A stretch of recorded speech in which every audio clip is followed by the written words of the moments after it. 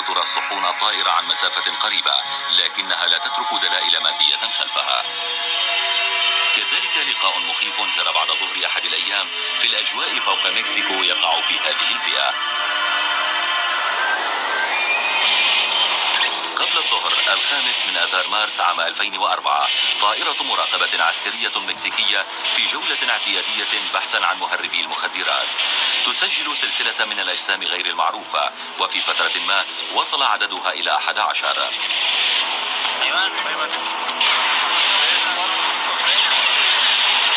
على جهاز الأشعة ما دون الحمراء. ظهرت صحون الطائرة اليوفو على شكل نقاط وهاجة من الضوء لكن من دون شكل محدد أو تفاصيل. أخذ طاقم الطائرة يبحث بخوف عما يطير بمحاذاته لكنه لم يرى شيئا. لا يوجد سوى علامة ما دون الحمراء وشيء حار جدا. يقول مراقبو الملاحة الجوية إنهم لا يستطيعون رؤية شيء غير عادي على شاشات راداراتهم. وفي النهاية هبطت الطائرة من دون أن يدرك فريق العمل والمراقبون والجيش ما الذي حدث. سوف نتفحص هذا اللقاء الذي يعد من الدرجة الأولى والذي حدث من مسافة قريبة. سوف ندخل لاحقا في تفاصيل هذا اللقاء القريب الذي يعد لقاء من الدرجة الأولى. لكن لنتطرق أولا إلى الفئات الأخرى من اللقاءات. اللقاءات القريبة من الدرجة الثانية تشير إلى رؤية صحون الطائرة مصحوبة بدلائل حسية على زيارتها. يدعي كثيرون أن ظاهرة دوائر المزروعات تندرج في هذه الفئة. شاهد الناس كرات من الضوء فوق حقول القمح ولاحقا أصبحت المزروعات مسواة بأشكال مذهلة وأخيرا ارتبطت تشكيلات دائرية غريبة فوق العشب برؤية صحون طائرة في المكسيك. ثم هناك طبعا لقاءات الدرجة الثالثة والتي تشمل التواصل الفعلي عن طريق التخاطر مع كائنات فضائية. وفي نهاية المطاف هناك لقاءات الدرجة الرابعة المسماة التعرض للاختطاف على يد الغرباء. عندما استعدت وعيي كنت على طاولة. كنت على طاولة. منذ البدء تعلقت هوليوود بفكرة المسخ ذي العين الواحدة الذي يفعل أشياء تؤذينا. لكن بالنسبة إلى الذين يؤمنون بأنهم تعرضوا لما هو حقيقي فالأمر مرعب تماما. إنها قبيحة جدا ومقززة. أفكر أحيانا قائلة لابد من أنه حلم. لا يمكن أن يكون ذلك حقيقيا. لكنه حصل. تعرضت للاختطاف مرات عدة عندما كنت صغيرة. تحدث هذه الأمور من المهد إلى اللحد. هكذا تجري الأمور عندما تدخل إلى نظامهم فأنت تبقى فيه إلى الأبد. بام هي مريضة الدكتور ديفيد جاكوبس وهو بروفيسور مساعد في جامعة تامبل للتاريخ وأحد الباحثين في ظاهرة الاختطاف. إنه يعمل منذ أكثر من ثلاثين عاما مع من يدعون أنفسهم مختطفين باستخدام طريقة التنويم المغناطيسي لمساعدتهم على استرجاع ذكريات دفينة تتعلق بخبرتهم. هذا الموضوع هو الفوضى بحد ذاته. وكوني أكاديميا فإن دراسة أمر كهذا يمكن القول إنها ليست خطوة مهنية جيدة. لكن لا تسنح الفرصة غالبا في حياة المرء. للمشاركة في فهم ظاهرة بهذا الحجم من الأهمية. يعتقد ديفيد أن هناك على الأقل خمسة ملايين أمريكي تعرضوا للاختطاف على يد الغرباء الفضائيين وسمع مئات القصص المتعلقة بالاختطاف ومعظمها متشابهة. أنا نائمة. أشعر أن الغرفة هادئة جدا وأنها تسبب القشعرير أحيانا. لا أعرف كيف أصف ذلك لكن هناك شعورا مختلفا في الغرفة. ثم يبدأ الصوت في أذني. هكذا. ويستمر. ثم أرى نورا وأرى صورا. ويقول بعض الناس إنهم يعجزون عن التحرك بما يشبه الشلل. ما يحدث تاليا كما يقولون إنه يأتي شخص ما أو شيء ما إليهم ويجعلهم يرتفعون وغالبا ما يطيرون عبر نافذة مغلقة. ثم يصعدون إلى مركبة فضائية حيث ينضمون إلى مختطفين آخرين منتظرين مصيرهم. ما يحدث لاحقا هو أمر غامض كليا. لكن قبل سماع ما تبقى من قصة بام المخيفة كلمة تحذير إلى الذين يعتقدون أنهم تعرضوا للاختطاف وذهبوا للبحث عن معالج يمارس التنويم المغناطيسي. التصوير الموجهة إلى آخره لاستعادة ذكريات دفينة تتعلق بأحداث مماثلة احذروا مما تريدون تذكره. الأمر خطر جدا. فهم يصرخون في حالات عديدة يبكون ويتدحرجون. وما يظهر نتيجة جلسات التنويم يجعلهم يشعرون أن الأمر حقيقي سوزان كلانسي الطبيبة النفسية والأخصائية في الذاكرة ظلت ست سنوات تدرس ظاهرة مختطفي صحون الطائرة وهي تعتقد أن الذكريات المتعلقة بالاختطاف لا تستعاد أبان العلاج بل تخترع اختراعا. كل شخص تعرض للاختطاف اكتسب ذكريات التنويم المغناطيسي أو ما يسمى التصوير الخيالي الموجه. لا أعرف شخصا طور عفويا ذكريات تتعلق بتعرضه للاختطاف على يد الغرباء. غالبا ما يبدو المختطفين منطقيين وعقلانيين ومعظمهم يدركون أن قصصهم لا تبدو خيالية. لكنهم يجيبون لماذا قد يقرر المرء تذكر أحداث مؤلمة. سنذهب في رحلة داخل النفس البشرية للإجابة عن هذا السؤال والعثور على بعض الأجوبة العلمية المخيفة. كما سنفحص مجددا التصوير الشعاعي المذهل لطائرة القوات الجوية المكسيكية لنرى إذا كان هناك تفسير أكثر إقناعا.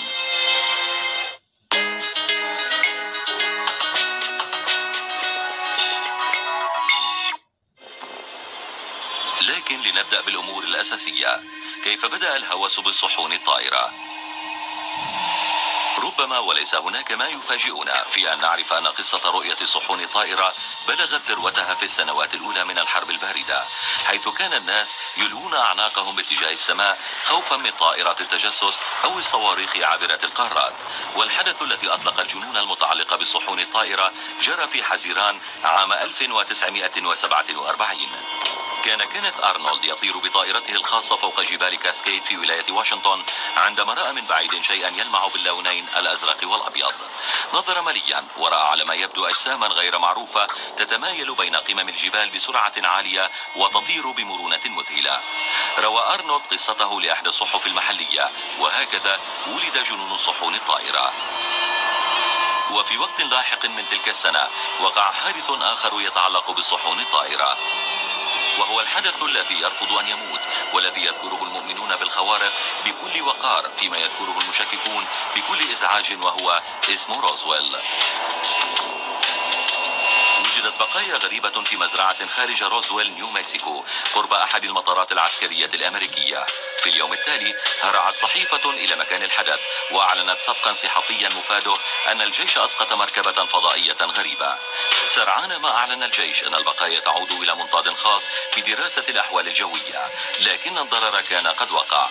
كان من غير المجدي تغطية أمر ما. هذا المنطاد الخاص بالأحوال الجوية لم يكن سوى منطاد اختباري للتجسس. وكانت ولادة حقبة جديدة.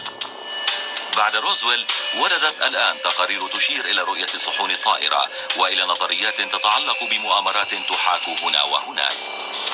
وهناك صور وأفلام فيديو وهي كثيرة وكثيرة جدا. بعضها ليس مقنعا كبعضها الآخر. في رؤية صحون الطائرة قليلة هي الحوادث التي يمكن مقارنتها باليوم الذي أظلمت فيه مدينة مكسيكو في وضح النهار والذين التقطوا وسجلوا شيئا كانوا كثيرين. الحادي عشر من تموز عام واحد وتسعين كسوف تام للشمس. بدأت تظلم الأجواء فوق مدينة مكسيكو. مئات الناس وجهوا كاميرات الفيديو صعودا لالتقاط الحدث. إلى الباحث في الصحون الطائرة جيرمو أريجين فقد كان مشهدا لافتا. صعدت سطح منزلي لتصوير الحدث. عندما رأيت نورا يلمع في السماء ركزت آلة التصوير عليه. فهمت أنني صورت صحنا طائرا يتأرجح لا كوكبا أو نجما. لم يكن أريجين الوحيد الذي سجل ما سجله سيرجيو فوانتيس كان يحتفل بكسوف الشمس مع عائلته عندما استدار نحو السماء. أصرت زوجتي وأولادي على ألا أنظر إلى الشمس مباشرة من دون وضع حماية لعيني سمعت كلامهم وحاولت تصوير كل ما حدث. أكملت التصوير موجها الكاميرا نحو الشمس. ولاحقا عندما تحقق فوينتس من الشريط فوجئ عندما اكتشف أنه صور صحنا طائرا.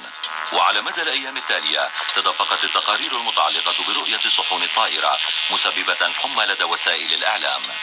صحفي التحقيقات المعروف هايمي موسان استضاف برنامجا ماراثونيا دام عشر ساعات حول صحون الطائرة شمل نقاشات تتعلق بمشاهدة هذه الصحون. سأل المشاهدين ليعودوا ويشاهدوا ما سجلته كاميرات الفيديو التي كانت بحوزتهم. عندما قدمت هذا على التلفاز كثيرون اتصلوا ليقولوا لقد شاهدناه. يمكنك أن ترى بوضوح جسما يلمع ويبدو معدنيا مع ظل أسود تحته. وهذا الجسم بشكل طبق فضي. لا أظن أنها كانت نجما أو أن هناك مشكلة أو خللا ما في الكاميرا. شريط الفيديو هو الإثبات على صحة ذلك. ومنذ ذلك النهار تغيرت حياتي كليا لأنه منذ تلك اللحظة أراد الناس أن أقول المزيد حول كل ما يتعلق بالصحون الطائرة. يعتقد البعض أن هذا الدليل لا يثبت شيئا. الكاتب والمشكك ماريو مانديز أكوستا جادل موسان في رؤية كسوف عام 91 وهو يعتقد أن الهوس الوطني بشأن الصحون الطائرة يتعلق بموسان نفسه أكثر مما يتعلق بزيارات من الفضاء الخارجي. تصور فقط أن يصبح المقدم التلفزيوني مؤمنا طوال الوقت بوجود الصحون الطائرة.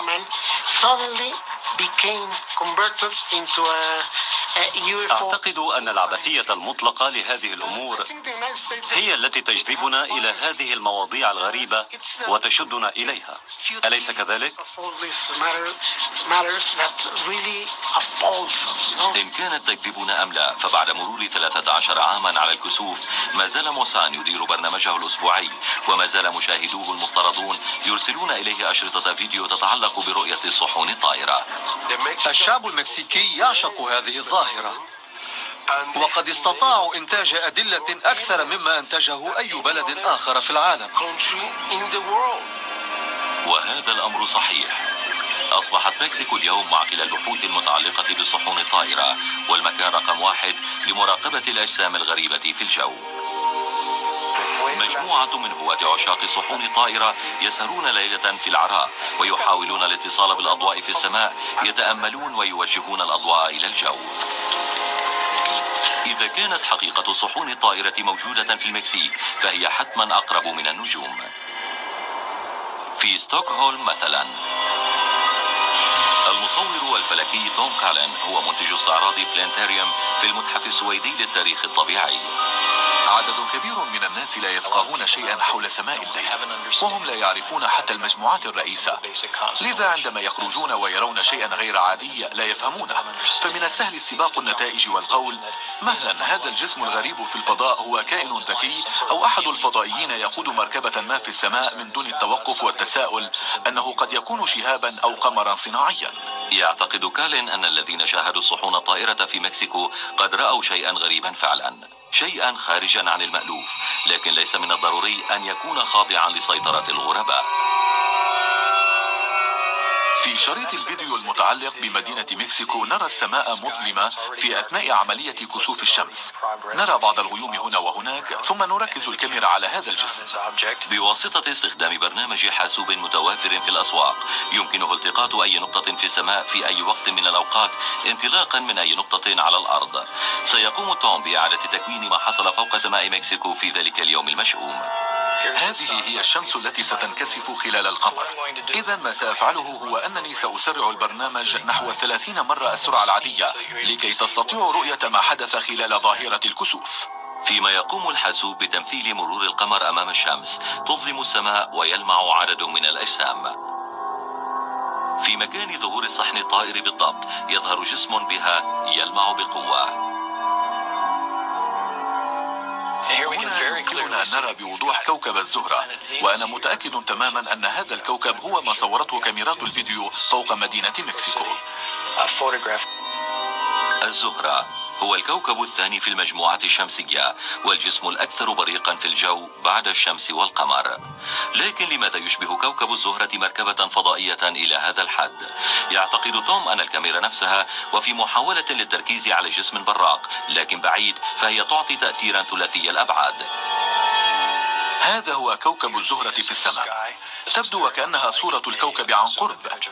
لدينا هنا صورة يبدو فيها الكوكب أكثر وضوحا. وهذه مجددا صورة بطيئة ويمكننا أن نرى بعض التأثيرات الناتجة من تحرك الكاميرا. هذا الخط الداكن الذي نراه ليس ظلا لأي شيء لكن ما نراه هو دليل يعود إلى الكاميرا. يمكن كل يوم جعل أي كوكب كوني يبدو جسما غامضا. لكن ليس بهذه السرعة. لا يمكن للأجسام الكونية اليومية أن تكون مسؤولة عن كل التقارير المتعلقة برؤية صحون الطائرة في مكسيكو. خذوا مثلا هذا الجسم المميز الذي شوهد يتحرك قرب بركان ناشط يسمى بوبوكاتيبتل من الواضح أنه ليس نجما ولا كوكبا وهو لا يتصرف كطائرة عادية. التقط هذا الجسم على كاميرا الفيديو الخاصة بالمهندس ماريو راميريز الذي يعيش في ظلال البركان. وكالكثيرين هنا فهو يؤمن أن النشاطات البركانية تجذب الصحون الطائرة إلى مكسيكو. وهو يدعي أنه شاهد أسطولا من المركبات الفضائية تدخل الفوهة عام 1988 شاهدت سفينة كبيرة يبلغ قطرها 300 متر. كانت تحتوي على كثير من الأضواء والنوافذ وكانت تدور على نفسها وتتقدم باتجاه البركان شاهدتهم يدخلون الفوهة بمجموعات مؤلفة من ثلاثين مركبة ثم يطيرون باتجاه الفضاء بسرعة هائلة. إنهم يعيشون في قلب البركان.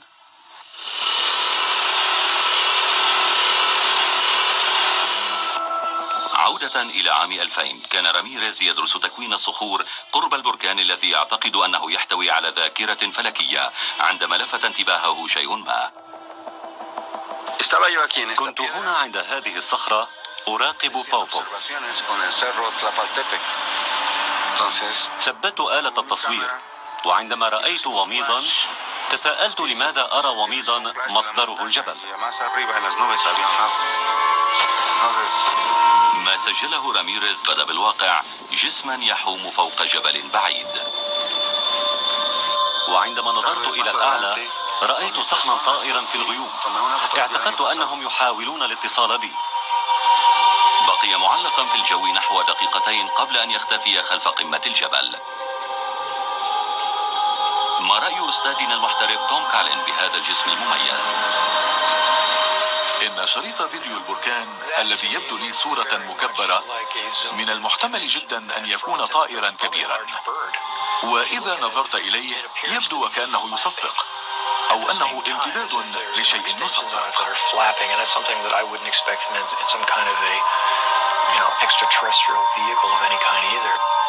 بالطبع أليست كل الأشياء الطائرة غير المحددة؟ يوفو هي حالات خطأ في التحديد؟ بعضها يبدو وبشكل يدعو إلى الشك وكأنها تأثيرات خاصة قديمة ورخيصة أو كأنها مجرد صفيحة تنك رميت في الجو. وتكفينا الأدلة المتعلقة بأشرطة الفيديو. ما رأيكم في اللقاءات القريبة من الفئة الثانية؟ أي الحالات التي تترك فيها الصحون الطائرة أدلة مادية خلفها؟ سوف نبحث في آثار خلفها صحن طائر مفترض ونسأل ما الذي يمكنه أن يفعل هذا؟ في أيلول عام 2004 ظهرت سلسلة من الحلقات على بقعة أرض صغيرة معزولة في غوادالاخارا. أرسل مالك الأرض في طلب أحد المهندسين والباحثين في الصحون الطائرة دانييل دومينغيز وفريقه للتحقيق في الأمر. أمضوا بضع ليال يراقبون الحقل وبالفعل فقد ظهر ضوء كروي. لقد مر فوقنا تماما وصعد النور المركز باتجاه السماء. ثم انخفض الضوء وأكمل مساره. يدعي دومينغيز أن الضوء تسبب بتغييرات في العشب. لا يمكن لأي بشري أن يقوم بها. على مدى أربعة أسابيع كانوا يمسحون الدوائر ويقيسون نمو العشب. كما أخذوا عينات من التربة للتأكد من وجود إشعاعات والتي يعتقد دومينغيز أنها هي السبب في إحداث الدوائر. حصلنا على هذه العينة في السابع عشر من أيلول سبتمبر. كما ترى فإن العشب أكثر اخضرارا والورقة ازدادت عرضا من مكان واحد. وهذا يدل على أنها تعرضت للإشعاعات. من خلال الدليل الذي حصلنا عليه فأنا أميل إلى الاعتقاد أن هذه الدوائر هي نتيجة الطاقة الضوئية التي أنتجها هذا الجسم الغريب الآتي من مكان أبعد من النجوم. لكن الدكتورة لورا جوزمان تعتقد أن الجواب قد يكون على الأرض لا في الفضاء. إنها عالمة فطريات في جامعة جوادالاخارا سيدة الفطر المكسيكية كما يقال. لكن ما علاقة الفطريات بالصحون الطائرة؟ هذه قطعة كبيرة من النسيج الفطري الذي قد ينمو حول قطعة من الخشب أو الجذور. وجدناها نسيج فطري. فيما يعنينا. لأن الفطر ينمو خارج النقطة المركزة للدوائر ويسمى غالبا الحلقات الكاملة. بعض الفطريات تكون حلقات من العشب الميت. لكن فطريات أخرى تغذي العشب وتزيد اخضراره داخل الدائرة أكثر من المنطقة المحيطة خصوصا إذا تغذت على أجسام عضوية عافنة كجذور الأشجار اليابسة. هذه القطعة الخشبية تزيد من نمو الفطريات. لهذا نجد عددا من الدوائر تنمو والسبب وجود عدد من الخشب اليابس تحت التربة. في رأيي العلمي أنا أعتقد بأن هذه الفطريات هي التي تكون الدوائر ولا وجود لأي تفسير آخر. لكن هناك آلاف الأنواع من الفطريات في التربة خمسون منها فقط تسبب الدوائر. للتأكد من أن هذا النوع أو ذاك من الفطريات مسؤول عن تكون الدوائر. أخذت الدكتورة جوزمان العينة إلى مختبرها ووضعتها تحت المجهر. نظرت إلى دليل فاضح وهو نشوء مكون من خلايا فطرية فردية وتأكدت شكوكها. الدوائر الرائعة التي رأيناها اليوم تكونت بفعل الفطريات. ما رأيكم في دومينغيز الذي يدعي أن هذه الدوائر تسببت بها إشعاعات الصحون الطائرة تملك الطبيبة جوزمان العينة وقد اختبرتها فاكتشفت عدم وجود نسبة عالية من الإشعاعات. تبين أن لقاءات الدرجة الثانية لم تكن سوى لقاءات قريبة من النوع الفطري. مكسيكو هي نفسها فيما يتعلق بلقاءات الفئة الأولى والثانية والثالثة مع أن الفئة الثالثة أي اللقاء الحالي مع الغرباء. يحصل دائما على مستوى التخاطر الفكري والاستخدام المكثف للأضواء المومضة ما يجعل التحقق من اللقاء أمرا مستصعبا. ما يدعو إلى الفضول هو أن لا أحد في المكسيك ادعى أنه خطف على يد الغرباء. وهذا يتناقض وما يورده الجيران الشماليون أي الولايات المتحدة بحسب بعض الإحصاءات فإن الملايين من الأمريكيين قد تم خطفهم إلى داخل صحون الطائرة حيث تم أخذ عينات منهم أو تلقيحهم لكن ما هذا الفرق بين شمال ريو جراند وجنوبها؟ هذا النوع من الأمور يعود إلى إيمان مرتبط بالثقافة. أعني بكل بساطة إذا كان الغرباء يخطفون البشر فهم لا يخطفون الأمريكيين فقط ولكن المكسيكيين والبرازيليين والبرتغاليين. قد أصبح أسعد مخلوقة في العالم إذا قال لي أحدهم إن هذه الأمور لا تحدث. إنه نوع من الأمور التي لا أعرفها وسأكون سعيدة. لكن للأسف فأنا مرتبطة بها منذ فترة طويلة. لكن قبل دخول عالم الغرباء المخيف وعمليات الخطف دعونا نعود إلى الحدث الغريب الذي سجل الأشعة ما الحمراء على متن الطائرة العسكرية المكسيكية. اكتشفت نحو عشرة أجسام غير معروفة. لم يستطع الجيش أن يجد لها تفسيرا. هل يكون هذا الدليل القاطع على وجود زيارات من الفضاء؟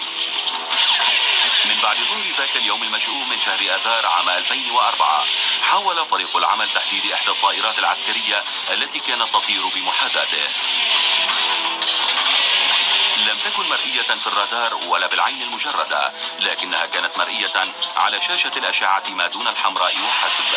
أطلق الجيش المكسيكي المعلومات المتعلقة بهذا اللقاء الجوي مع الأجسام غير المعروفة وخلق بلبلة في وسائل الإعلام. الكابتن أليخاندرو فرانس من مجموعة ألسيون الباحثة في علم الصحون الطائرة قرر التحقيق في الأمر. فرانس هو نوع من المؤمنين المشككين. مع أنه يعتقد باحتمال قيام الصحون الطائرة بزيارة الأرض فهو يشعر أن على المحققين حذف كل التفسيرات البديلة قبل التوصل إلى النتيجة. أنا أحقق في هذه الأمور لأن 90% منها لا يتعلق بالصحون الطائرة. إما أنها من صنع الإنسان وإما أنها نجوم أو أجساما أخرى لا يمكن تحديدها. لكونه طيارا فإن الكابتن فرانز يريد إعادة تجسيد خطر طيران الطائرة العسكرية. ثم عند النقطة حيث التقت طاقم الصحون الطائرة حول مسار الطائرة نحو الجهة التي شوهدت فيها هذه الصحون لأنه يعتقد أن هذه الأجسام ما زالت موجودة. أقلعت الطائرة من فيا هرموزا وارتفعت نحو 11 ألف قدم متجهة شرقا.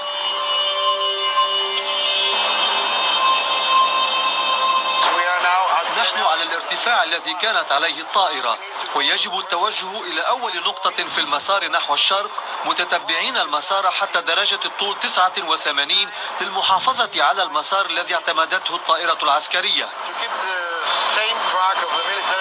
وصلت الطائرة إلى أول نقطة تم فيها لقاء الصحون الطائرة. طلب فرانس من الطيار الاتجاه نحو الشمال الغربي وهو الاتجاه الذي كانت الكاميرا ما دون الحمراء تصوب إليه. شاهد أضواء مماثلة ويعتقد أنه يعرف بالضبط خلف ماذا كانت تسعى الطائرة الحربية. كنت أطير وأجتاز خليج مكسيكو مئات المرات. هذه الأضواء في خليج مكسيكو يمكن رؤيتها طوال السنة خلال الليل. أي طيار يستطيع رؤية هذه الأضواء عندما تكون الرؤية جيدة؟ يمكنك رؤيتها من على مسافة 140 أو 150 ميلا. على مسافة 60 ميلا من الشاطئ ونحو 100 ميل من آخر نقطة اتصال. ضبط فرانس ما كان يبحث عنه وهو مجمع أبار النفط البحري المعروف باسم كانتاريل حتى على مسافة 15 ألف قدم. تبدو هذه المنشآت ضخمة جدا. منصات تنقيب يصل ارتفاعها إلى 40 طبقة سكنية. اللهيب الذي قد يصل إلى مئات الأمتار سببه النفط الإضافي الذي يحترق للتخفيف من الضغط على الآبار أشعر بالسعادة لأنني أثبتت صحة نظريتي. إن الحل جزء من تحقيقي وهذا الأمر يعطيني الدعم للاستمرار في التحقيق. يؤكد فرانس أن هذا الأمر هو مصدر ادعاءات مشاهدات صحون الطائرة. لكن هل يمكن هذه النار أن تظهر على نظام مراقبة أشعة مدون الحمراء على طائرة عسكرية على مسافة 100 ميل؟ ولماذا تبدو وكأنها تطير؟ يبدو جيمس سافرين الشخص المناسب للإجابة عن السؤال فهو يعلم استخدام تقنية الأشعة مدون الحمراء وقد تفحص بنفسه منصات مصاف النفط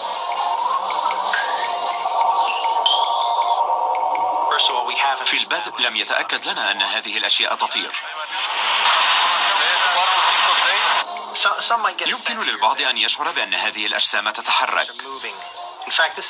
في الواقع إنه وهم بصري ينتج من تحرك الغيوم بالتناغم مع هذه الأجسام. إن ما تراه يشبه مصدرا حراريا وفي هذه الحال وبما أننا فوق المحيط فإن ما نراه هو انعكاس الحرارة على سطح المحيط. قد يكون اللهيب وبعض الدخان أو قد يكون اللهيب وحده. أود التصديق بوجود صحون طائرة لكنني لا أرى أدلة تشير إلى ذلك. إنه أمر يناقض الأدلة السريرية الباردة المتعلقة بالصحن التي التقطت على كاميرات فيديو أو أجهزة الأشعة ما دون الحمراء. لكن الأمر مختلف تماما عندما يتعلق بالتعاطي مع شهادة دامغة حول التواصل مع الغرباء بخاصة إذا كان التواصل عنيفا جدا وذا ملابسات مرعبة. ماذا سيحل بالناس الذين يملكون ذكريات حية حول اختطافهم وتعرضهم لإجراءات جنسية وطبية غريبة؟ إذا كان سيناريو الاختطاف حقيقيا والمحامون يدعون أن ملايين الناس لديهم دلائل على ذلك. فهذا يعني أن هناك شيئا مخيفا مسلطا علينا وهو أبعد بكثير من أن يكون بشريا. لكن هل هو حقيقي؟ على مدى الخمسين سنة الأخيرة أتى ألاف الناس للتبليغ عن تعرضهم للخطف على يد الغرباء. لكن مناصر نظرية الخطف ديفيد جاكوبس يعتقد أن هذه ذروة جبل الجليد المستندة إلى دراسة ساعد في القيام بها عام 92 إذا سألت الناس هل تعرضتم للاختطاف مليون شخص يجيبونك بنعم. لكن الناس بمعظمهم لا يدركون أنهم تعرضوا للاختطاف لأنهم ينسون تلك الظاهرة حالما يعودون إلى حياتهم العادية. وعلى ما يبدو فإن غير الأرضيين يحاولون أغفال ذاكرة الناس بشأن الاختطاف لكن العملية لا تنجح كليا. يمكن التنويم المغناطيسي يقول جاكوبس أن يفرج عن هذه الذكريات المقفل عليها. بعض الناس يتذكرون جزءا من عملية الاختطاف. ويتذكرون مراحل عنها ومنهم من يتذكرون العملية كلها. التنويم المغناطيسي ولأسباب لا نفهمها قادر على فتح الأبواب وجعل الناس يتذكرون فجأة ذكريات بعيدة جدا وللمرة الأولى. إذا فإن الطريقة الوحيدة للتذكر هي بالوصول إلى حالة نفسية من التركيز والاسترخاء وهم يتذكرون أمورا متشابهة. وخبرة بام خبرة نمطية. تستيقظ وتجد نفسها في الفراش لكنها عاجزة عن الحركة. بعض الكائنات الرمادية تقودها إلى المركبة الفضائية التي تنتظرها. هناك تنضم إلى آخرين في نقطة الانتظار. غالبا ما أنظر من حولي وأعتقد أن الآخرين الجالسين هناك يبدون وكأنهم فرغوا من ذلك. الدكتور جيكبسون سيقول لي إنهم هم أيضا ينظرون إلي معتقدين أنني أيضا فرغت من الأمر. هناك دروس أحيانا. هناك أحيانا معاينات جسدية وأسوأ من ذلك. الكائنات الرمادية الصغيرة هي عناصر المرافقة وهي صغيرة الحجم وتملك عيونا كبيرة وأجساما نحيلة جدا. ثم هناك كائنات أكثر طولا تشبههم لكنها أكثر ذكاء. وتمتد عملية التحديق فترة طويلة وكل ما تراه هو هذه العيون الضخمة تشعر بأنك ضائع بينها. أحيانا يتعلق الأمر بمجرد معلومات أحيانا يتعرضون لك جسديا وأحيانا في أثناء قيامهم بذلك يضع أحدهم آلة في أنفك أو أذنك. وأحيانا يكون الأمر مؤلما ويكونون مزعجين. وأحيانا تصبح الأمور سيئة جدا.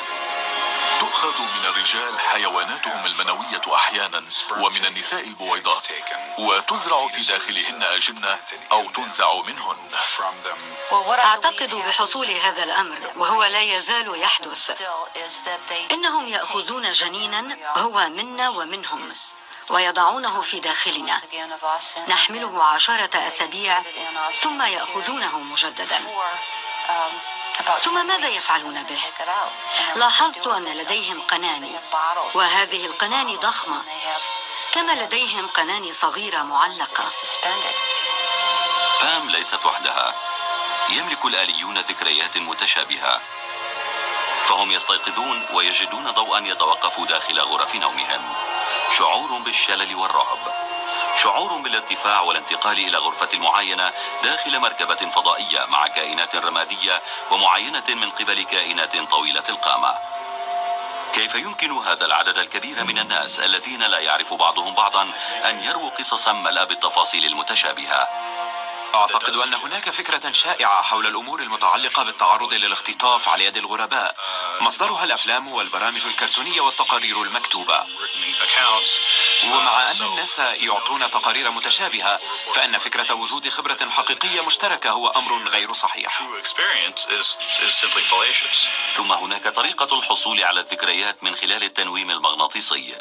لفترة طويلة ساد الاعتقاد بأن التنويم المغناطيسي هو نافذة سحرية للدخول إلى ذاكرة الناس. لكن تبين في الآونة الأخيرة أن تأثير التنويم المغناطيسي يتجاوز استرجاع الذكريات إلى درجة ابتكار ذكريات أخرى. في حالة التنويم المغناطيسي يميل الناس إلى إرضاء الشخص الذي قد وضعهم في هذه الحالة وهذا الأمر يعرفه كل شخص مر بهذه التجربة. هل تعرف الاي ام؟ انظري الآن. هذه السيدة هنا تملك عصفور الكناري الذي يخصك. قد ترغب في الذهاب إليها لاسترجاعه اذهب واسألها كي تعيد لك عصفورك فورا. هل يمكنني استرجاع عصفوري؟ أرجوك؟ قد يكون الأمر جميلا إذا ما جرى لمجرد التسلية لكنه قد يكون مؤذيا في أثناء محاولة العلاج. الطبيبة سوزان كلانسي أمضت ست سنوات تعمل مع أشخاص استعادوا ذكريات تتعلق بتعرضهم للخطف بالصحون الطائرة بواسطة التنويم المغناطيسي. وهي تؤكد أن هذه الذكريات لم تستعد ولكنها ابتكرت في أثناء العلاج. أظهرت الدراسات الحديثة أن الناس تحت التنويم المغناطيسي قد ينتجون أي ذكريات يطلبها منهم الطبيب. ليضع كل منكم مرهم الوقاية من الشمس الآن. احرصوا على دهن اليدين والوجه وغطوا وجوهكم أيضا. في واقع الأمر أنك تخضع لأشياء تحبطك أو للشخص الذي يقوم بتنويمك. لعلكم تريدون ضم الأذرع أو تريدون التقوقع أنتم تشعرون بالبرد الشديد ويزداد شعوركم بالبرد. الأمر صعب جدا. لأنكم قد تطورون ذكريات تبدو حقيقية. ولا أنتم ولا المعالج قادرون على التمييز ما إذا كانت الذكريات تمت إلى الواقع بصلة أم لا؟ يدعي جيكوبس أنه لم يستدرج أي مريض لاستعادة ذكريات تتعلق بتعرضه للاختطاف. من الواضح أنني معالج بالتنويم وأنا أعي كل هذه المشكلات. وكل الذين يأتونني يدركون هم أيضا هذه المشكلات. وهم لا يريدون أن أستدرجهم ولا يريدون التقاط أمور تنتمي إلى الثقافة الشعبية. حالما تملك السيطرة وتفهم الصعوبات المحيطة بالتنويم المغناطيسي وتفهم الآلية التي تأخذ هذا الأمر بعين الاعتبار تبدأ بسماع تلك القصص المذهلة التي يبدأون بسردها. في الحقيقة هم يصدقون ذلك. حتى إنهم قد يذهبون للبحث عن شخص يمكنه أن يساعدهم على تأكيد مثل هذا الأمر. هذا يكفي هناك. لكن لماذا يريد الناس التصديق بأنهم تعرضوا للاختطاف والتعذيب على يد مخلوقات غير أرضية؟ لسبب واحد هو أنهم صدقوا لائحة الروايات الشعبية المترافقة مع عمليات الاختطاف كهذه مثلا. عدم الشعور بالوقت كوابيس حول صحون الطائرة اضطرابات في النوم أحاسيس جسدية غير عادية علامات غامضة على الجسم شعور بأنهم يخضعون للمراقبة. كم هو عدد الذين على الكرة الأرضية يمكنهم الإجابة بنعم على هذه المجموعة من الروايات؟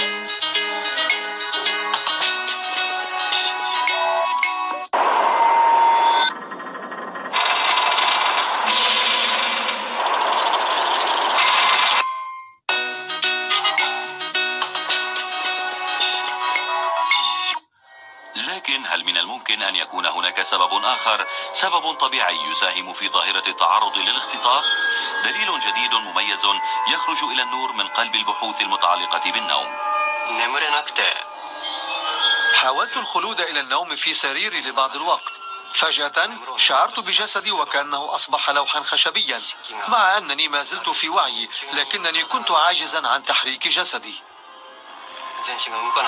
شعرت بوجود من حولي كما شعرت بوجود شيء عند قدمي. شاهدت رؤية تشبه امرأة مسنة شاحبة واقفة في الهواء تحدق إلي.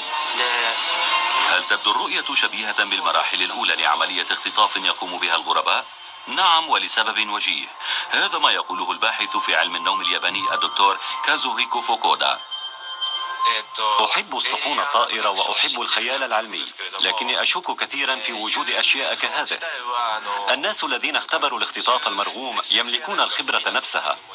كانوا يستيقظون في منتصف الليل ثم يلاحظون أن جسدهم غير قادر على الحركة.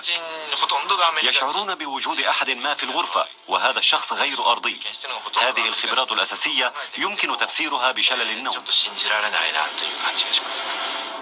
منذ سنوات يقوم الدكتور فوكودا وهو طبيب في علم النفس الجسدي في جامعة فوكوشيما اليابان بدراسة ما يعرف بشلل النوم.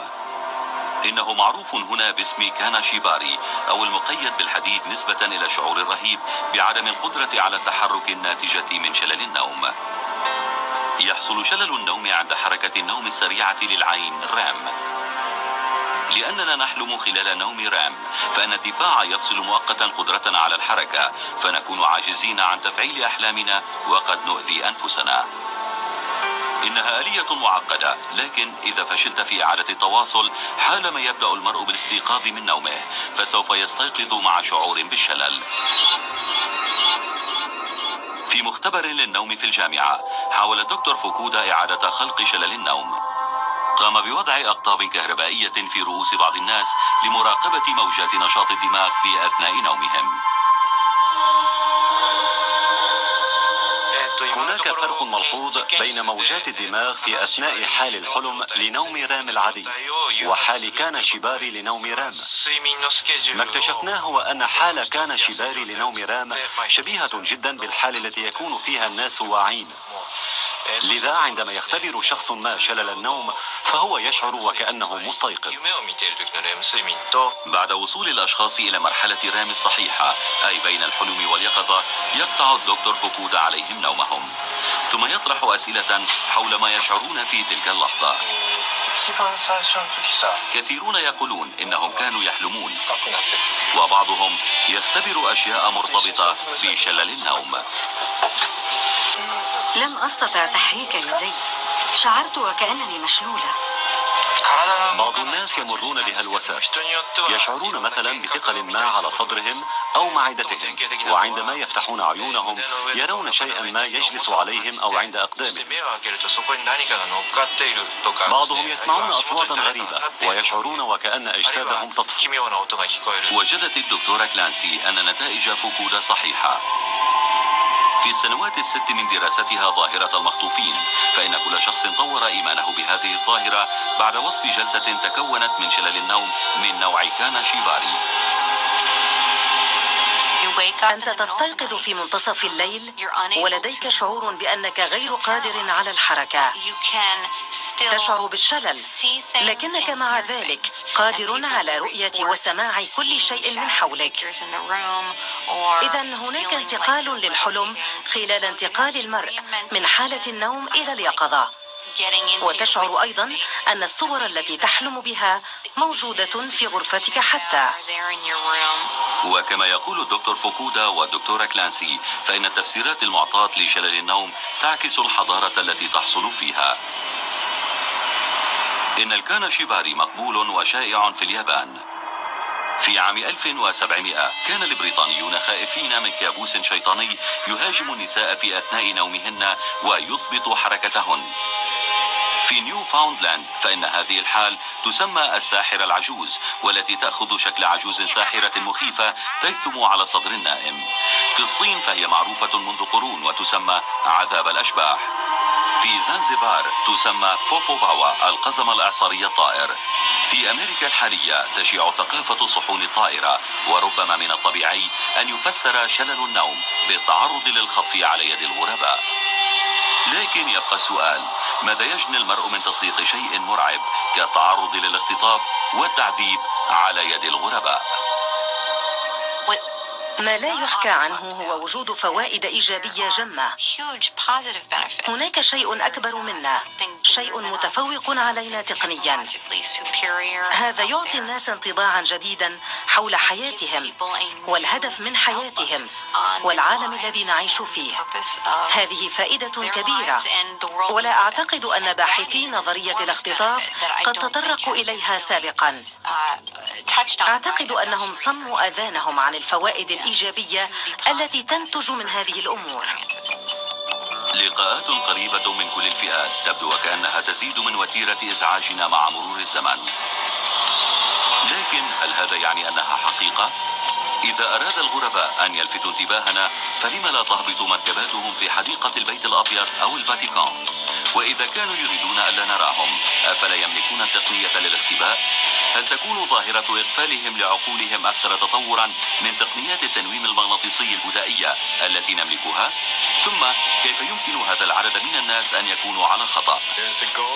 هناك هدف في هذا البرنامج هو ما يقولون أنه انخراط في المجتمع ليس بالضرورة على يد الكائنات الغريبة الرمادية لكن عن طريق كائنات تشبه البشر تماما ماذا لو كانت هذه الكائنات حقيقية؟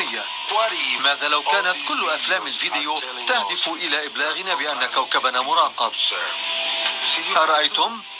حاولوا أن تكونوا منفتحين. إن النقص الهائل في الأدلة يقول لي إن معظم ما يصدقه الناس حول الصحون الطائرة وعملية الاختطاف هو أمر يعود إلى الثقافة وللحالة النفسية. إنه ليس هناك لكنه هنا. إنه دوركم لتقرروا. لكن لا تنسوا أن هذه الخدعة الصغيرة التي فرضها تاريخ الحضارة علينا بسيطة جدا. عندما تكون التفسيرات الأرضية كافية لماذا اللجوء إلى ما هو غير أرضي؟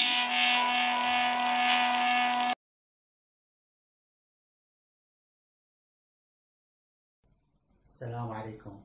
معكم ظلام الخطاوي من العراق بغداد. اليوم سوف أبدأ معكم سلسلة لشرح آلية عمل الروبوت الذي صنعته. بالتفصيل كيفية صناعة أجزائه وآلية عملها. لغرض إفادة الباحثين في مجال الروبوتكس في عالمنا العربي والإسلامي. أرجو أن تنال هذه السلسلة رضاكم وأحب أشكر كافة التعليقات المشجعة والداعمين لي معنويا وأرجو أن يكون هذا المحتوى عند حسن ظنكم. إذا أرجو المتابعة.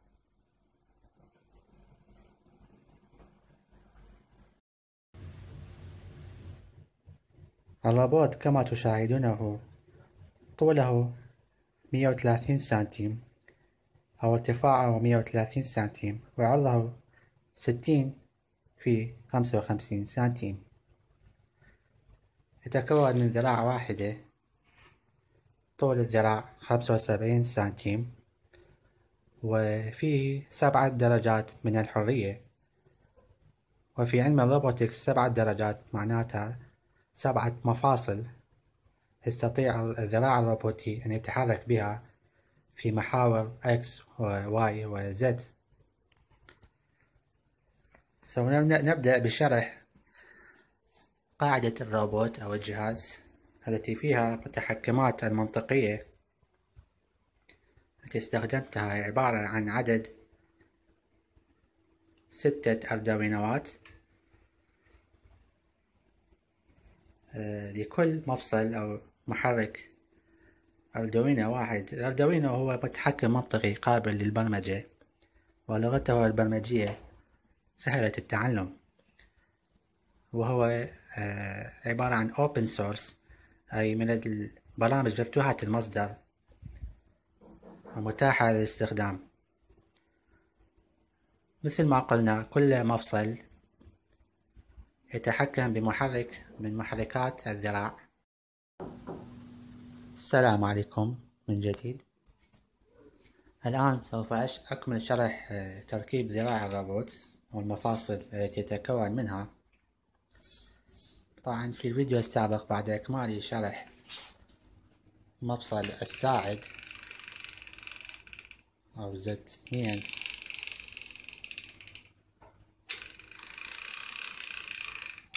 الآن سوف أقوم بشرح المفصل التالي وهو ما أسميه مفصل X الخاص بحركة القبضة بمحور X وهو مركب فوق آه، محور إخراج مفاعل الساعد طبعا. تكون من سيرفو ام جي تسعة تسعة خمسة. العزم يوفر عزم دالو اثنين ونص كيلوغرام سنتيمتر. طبعا هذا المحور لا يتحمل وزن كبير لأنه يدور بموازاة محور دوران السيرفو لكن كانت مشكلة صناعته هي كيفية حشره أو وضعه بحيز صغير على ذراع مفاعل الساعد. عبارة عن هاتين هذين المحملين كرويين مثبتين ببراكيت عدد اثنين مقارنتين.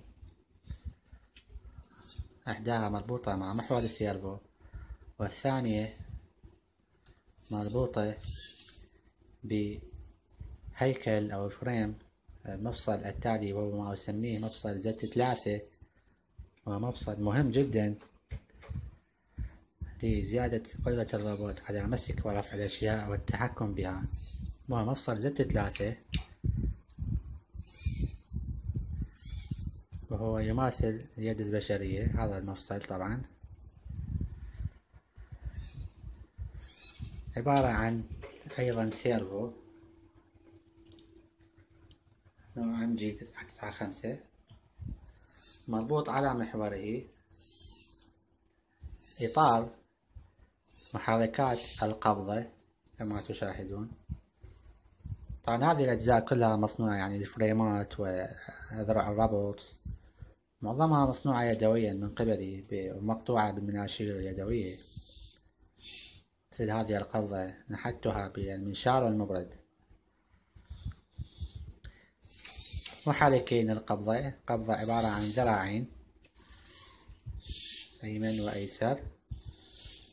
المحرك هو أيضا سيرفو تحكم به عبر ريليات القبضة قادرة على مسك وزن مقدارها واحد وربع كيلوغرام بدون أي انزلاق أو انفلات. وما يعادل وزن آه، قنينة آه، مشروبات غازية من الحجم المتوسط أو الكبير ما لا أعرف العائلي. هذه هي المفاصل. قبضة واحد زت ثري اثنين. اللي صنعته بجهدي الشخصي الكامل. هنا وقد استغرق مني صناعته وتصميمه واختباره. أربعة سنوات من العمل والجهد. وطبعا آلاف الدولارات بدون دعم من أي جهة. روبوت قابل للبرمجة لأداء العديد من الوظائف. وهناك فيديوهات كثيرة موجودة عندي لهذا الروبوت وهو يصنع العصير آه، تلقائيا بصورة مستقلة. واليوم البرنامج المحمل الذي حملته له وصممته سوف يقوم بصباغة الجدران بصورة مستقلة. طبعا هذا نموذج اختباري رغم أنه كلفني أربع سنوات من التصميم والعمل. آه، لقلة هكذا معلومات في بلداننا العربية وانعدام الدعم طبعا. هو بحاجة إلى التطوير لزيادة دقته في من ناحية البرمجة وسوف نشاهد عمله الآن. بسم الله.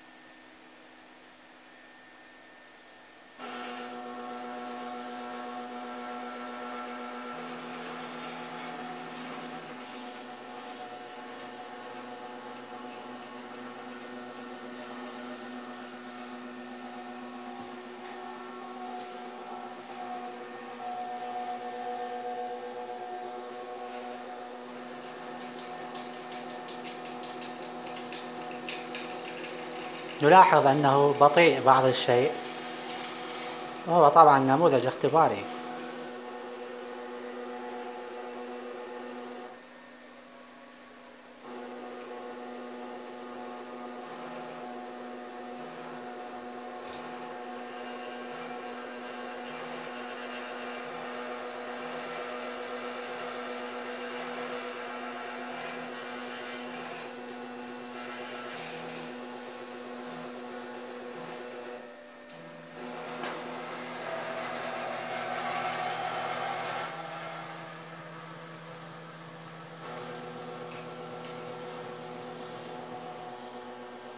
والآن سوف يبدأ بصباغة الصف الثاني.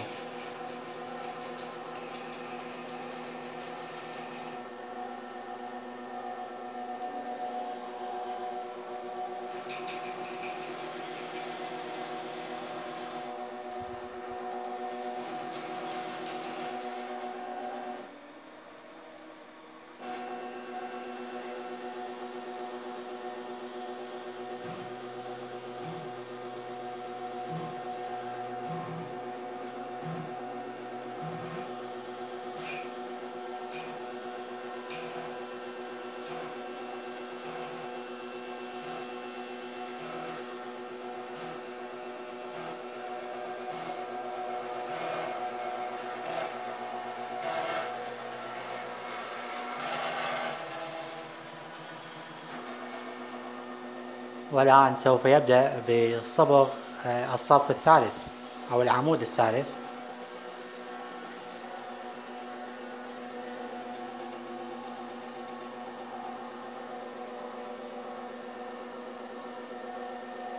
طبعا هو بطيء بطيء بعض الشيء لكنه ذكي وفيه بعض الدقة.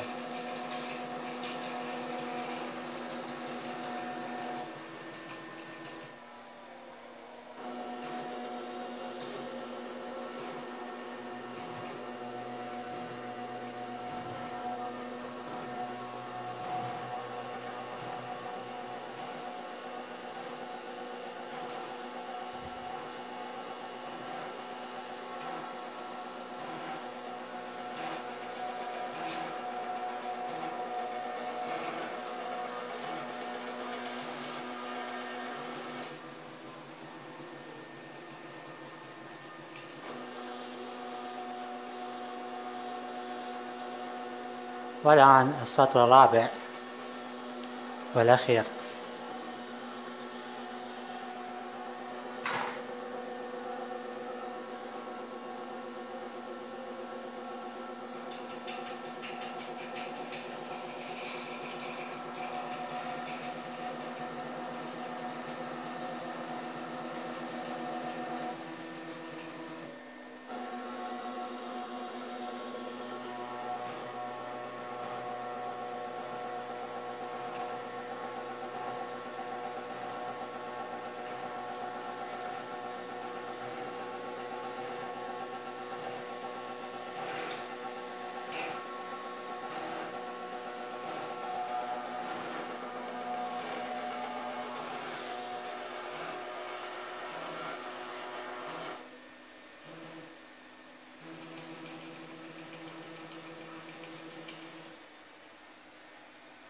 طبعا إلى حد هنا توقف البرنامج.